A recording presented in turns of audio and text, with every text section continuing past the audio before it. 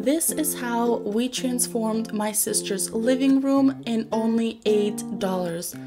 First order of business, I went to the store, got these paper bags, drew on some leaves, colored them out, and then we smushed them, we opened them up, and that's as easy as that goes.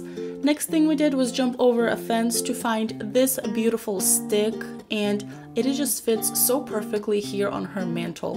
Next order of business, we're grabbing a hot glue gun, putting some glue on these leaves, and placing them randomly on our branches, and Oh my word, how beautiful does this look?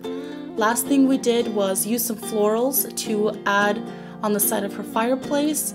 Added a couple more florals, and that is how you transform your living room on a simple budget.